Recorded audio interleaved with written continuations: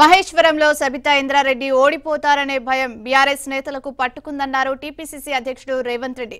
కేంద్రం సహకారంతోనే కాంగ్రెస్ నేతలపై ఐటీ దాడులు జరుగుతున్నాయన్నారు.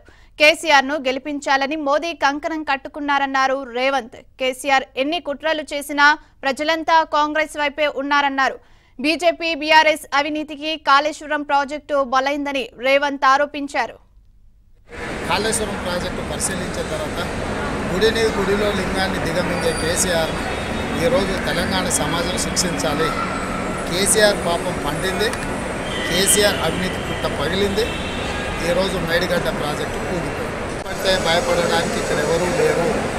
కాంగ్రెస్ పార్టీ కార్యకర్తలు ఈడీ ఇన్కమ్ ట్యాక్స్ సిబిఐ దాడులకు భయపడరు. ఎట్టి పరిస్థితుల్లో తెలంగాణ రాష్ట్రంలో కేసీఆర్ ఓడించి తీరుతాము. మోడీ గారు కంకణం కట్టుకొని కేసీఆర్ని గెలిపించాలనుకున్న మోడీ గారి బీజేపీ తరం కాదు. మీరు ఎన్ని కుట్రలు కుతంత్రాలు చేసినా తెలంగాణ సమాజం తప్పకుండా తిప్పికొడుతుంది కేసీఆర్ను పడగొడుతుంది.